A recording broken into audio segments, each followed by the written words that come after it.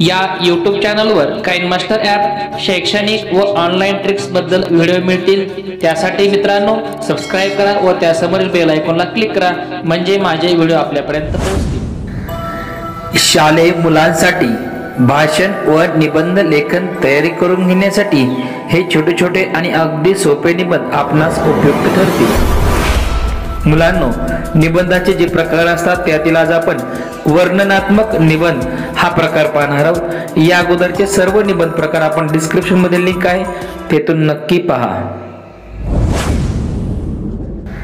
आजच्या आपल्या निबंधाचा विषय आहे आमच्या गावचा बाजार.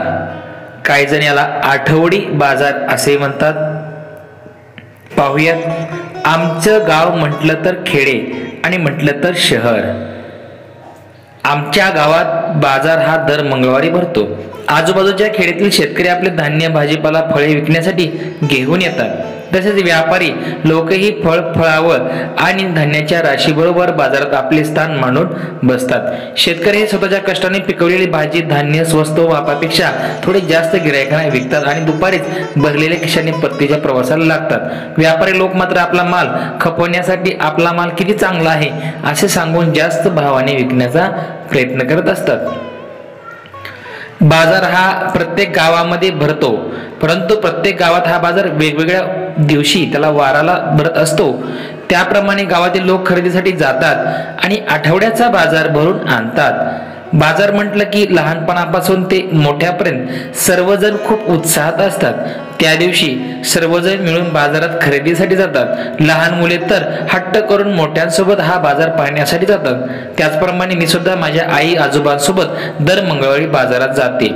आमच्या गावचा बाजार हा दर मंगळवारी भरतो. बाजारातील भाजीची रांग पाहून ही घ्यावी की ते घ्यावी असे होऊन जाते. शिवाय ताजी व स्वस्त असल्याने भाजी घेण्यासाठी गिरायकांची झुंबर उडते. बाजारात प्रत्येक मालाची स्वतंत्र रांग असते. एका ठिकाणी पालेभाजी धान्य फळे तर दुसरीकडे कपडे मासेवाले यांची गर्दी पाहायला मिळते. शोभेच्या वस्तू तसेच खाद्यपदार्थ विकणारेही असतात. बाजारात शोभेच्या वस्तूही विक्रीसाठी असतात. गिरायक आणि विक्रेते यांच्या मनोरंजनासाठी आपले डबडे वाजवत माकडवाळा येतो आणि तोही पैसे कमवून परततो.